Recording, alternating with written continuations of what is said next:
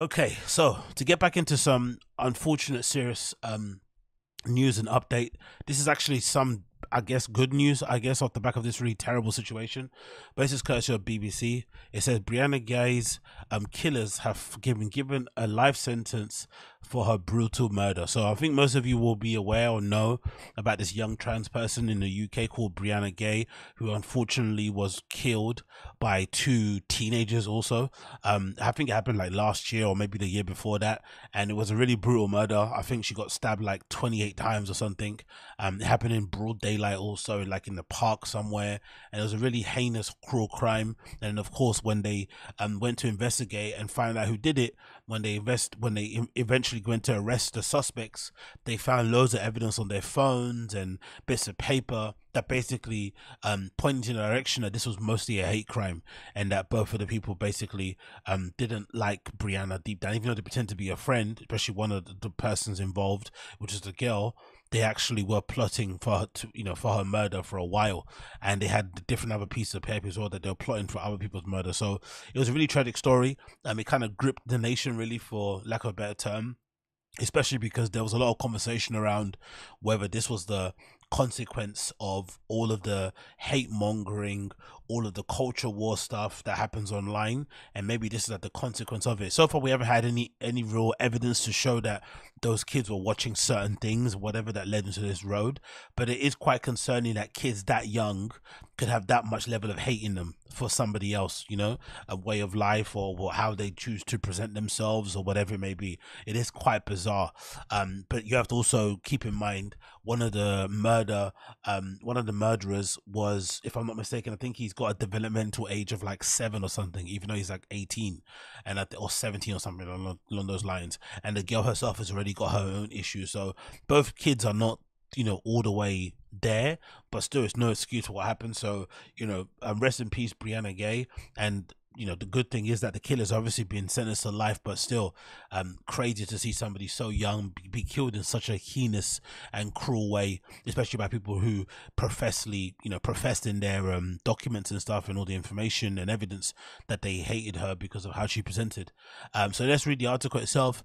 It says brianna Ghey's killers have been given a life sentence for her brutal and planned and sadistic murder. Um scarlett jenkinson eddie ratcliffe murdered a 16 year old in the park in Cheshire in February 2023.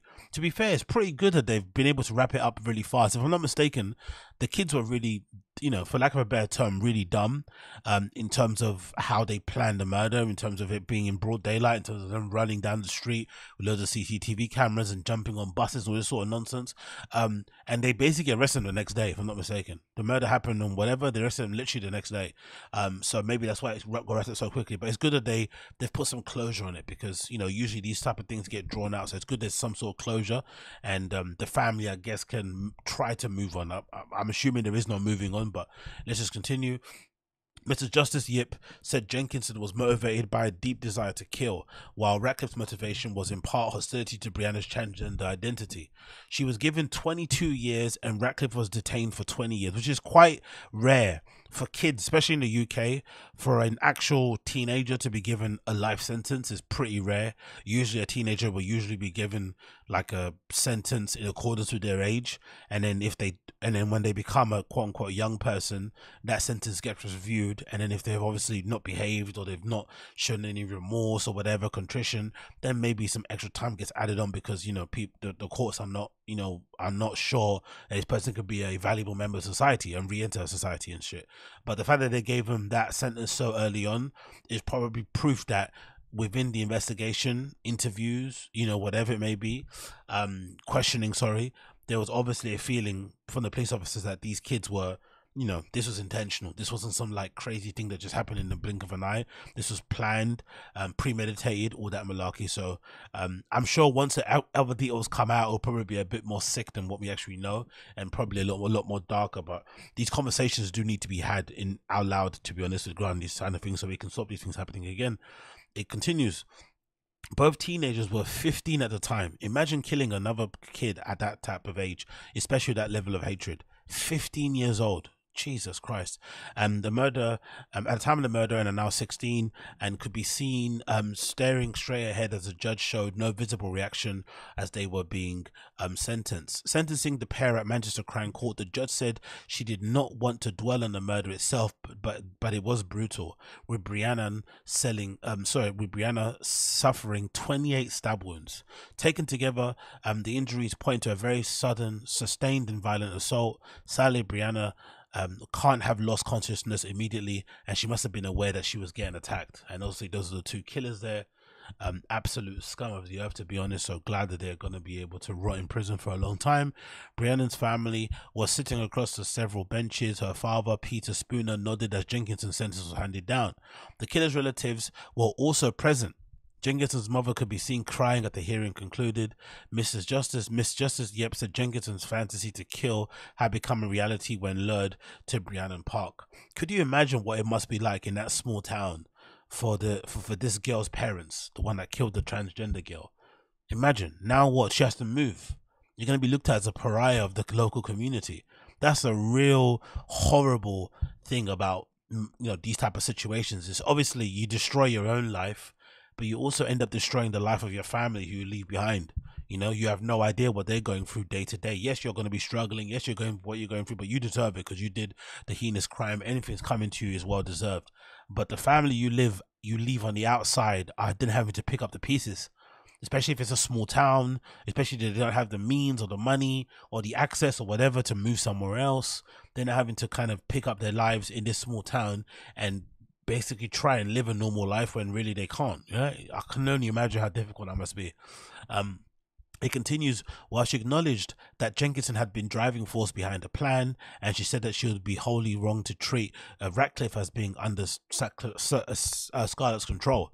I think this kid, even though he's developmentally a bit slow, they said in the interviews that he wasn't that slow. You know, they're trying to make it seem like, oh, there was something wrong with him and she was the mastermind behind the whole attack. But from what they've been basically saying is that from the investigations and questioning, he was clearly of sound mind enough to know right from wrong. So clearly, it's good to see that that was happening. And, you know, the person wasn't able to get away with like acting like there's something wrong with them. So they couldn't get a sentence, which is always, I've always felt like that's a real coward's way to go out, right? If you decide to do something that heinous and that hateful, you should just you know you should basically be able to stand on your shit especially if you actually believe in what you're you know you actually believe the intent to what you actually believe in what you did and the intent behind it. Like then you know kind of you know trying to claim craziness and all that sort of stuff is just so cowardly. It really really is. Um she added that the messages sent, sorry, um, she added that the messages sent by Ratcliffe were transphobic and dehumanizing, adding that he undoubtedly displayed hostility to Brianna based on her transgender identity. Um, in the victim impact statement read out in the court before sentences were handed down, Brianna's mother, Esther Ghey, um, said that Jenkinson and Ratcliffe would always pose a danger to society. I would never want them to have an opportunity to carry out sadistic fantasy to another child. She added that the saddest thing to come to terms with was finding out that one of those charged with Brianna's murder was someone she believed to be her daughter's friend. Brianna's sister, Alicia Gay, also said she now struggled to trust new people as Brianna's friend who she trusted who ended her life and that's obviously Brianna there that unfortunately passed away. You know what the really sad thing about this situation, which I read also that's really, really bad? Um there was a crazy situation where I think the mum never actually met the friend, but heard the friend from Brianna. So said, "Oh yeah, I've met, I've been out with this person, went to McDonald's." Da, da, da. And the, the the immediate thing that brought came to mind was that I I just think, unfortunately, if you have a child that is vulnerable or that could be vulnerable because of how they identify, because maybe developmentally how they are, whatever it may be, you probably do owe it to them to be very much in their business when it comes to their friends.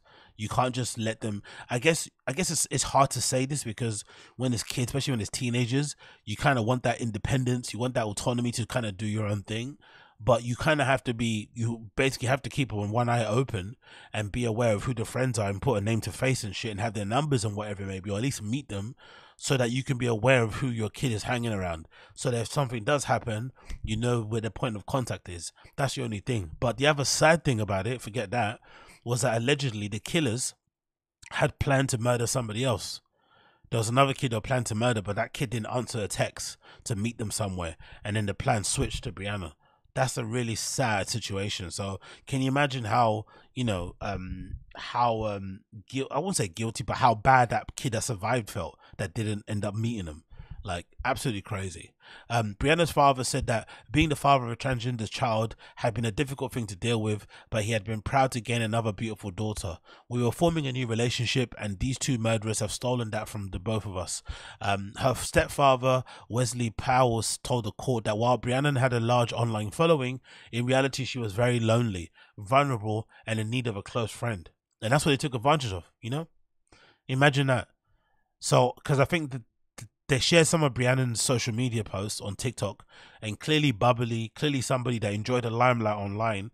But like most people who are extremely extrovert online, in person, she was incredibly introverted, um, always kind of hanging out by, by herself and stuff, not really having much friends. And you can understand why. You can understand why a small town, a transgender kid, there's probably not enough, there's probably not even a lot of probably gay people in that in that small town, let alone transgender. So can you imagine how lonely it must have been to grow up in that small town with that kind of identity and sort of like struggling to sort of like come to grips with everything. So that's a really tragic thing about it. Like imagine super bubbly online, really popular, big social media following, everybody on there encouraged because you can imagine TikTok is very encouraging, very kind of welcoming to people from all walks of life, whatever type of way you kind of swing, and then suddenly you, when you put your phone down, you're back to reality you're back to the cold, hard world, the cold, dark, harsh world, and you know, and now you're suddenly being set up by your friends. You know what I mean?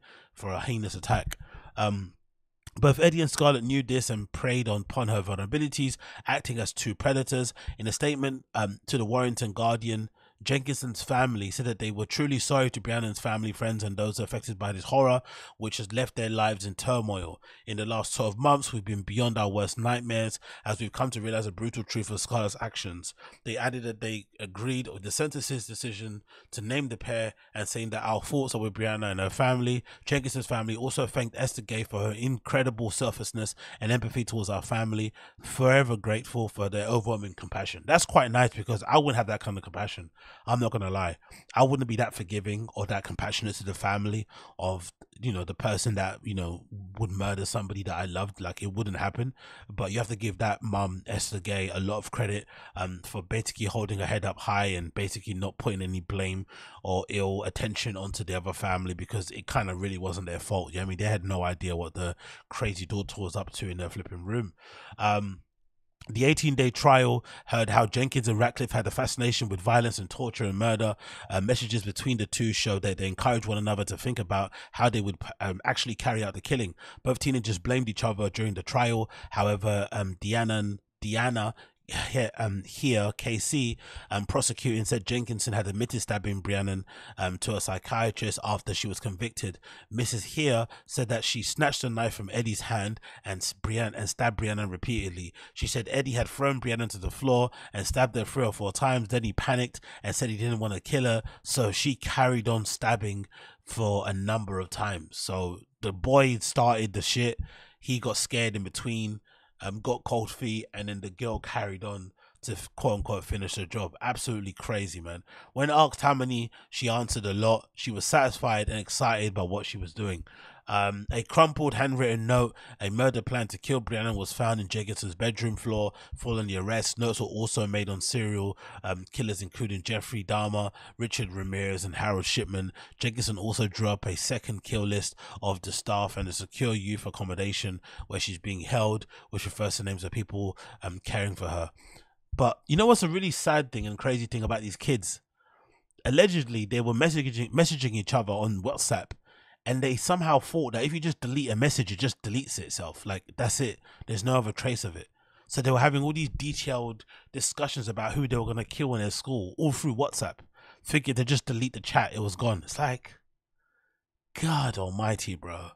Honestly, the naivety and the foolishness of youth sometimes is just absolutely crazy. But um, again, love and light, solidarity goes um, out to Brianna Ghey and her family. R.I.P. to Brianna Ghey. Obviously, um, tragic, tragic situation. But I guess there's some, you know, solace in that the killers have now been brought to justice. They're now going to be serving life in prison, and most likely they probably will never get out of any kind of correctional facility in any way, shape, or form. They probably will never end up being, um, you know, valuable members or re-enter a valuable member of society in any way, shape, or form anymore going forward, um, which is good. Um, kind of a life sentence in its own in that regard.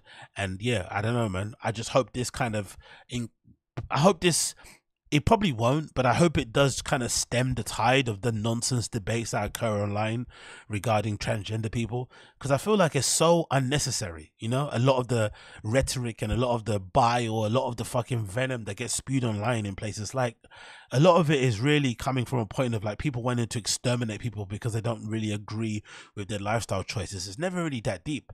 And the unfortunate nature of it is that maybe most of us are just typing up online stuff that we don't like and, you know, screaming from our soapbox. But sometimes all that vitriol and all that bile and all that violence and all that hateful speech sometimes has a reverberating effect. And this is where it probably ends up maybe us older folk online are not really looking to fucking carry out anything in real life, but sometimes those things can end up, um, you know, can end up kind of traveling to other people, um, kids especially, and then suddenly now it ends up in this type of situation, which is really, really unfortunate to flip and see. So, um, RIP to Brianna Ghey, and you know, thoughts and feelings go out to her family. Thoughts and feelings go out to her entire family.